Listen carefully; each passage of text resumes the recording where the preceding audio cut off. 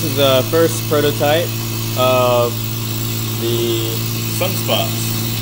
Sunspots. April 13th, 2012. Friday the 13th. It's an auspicious day.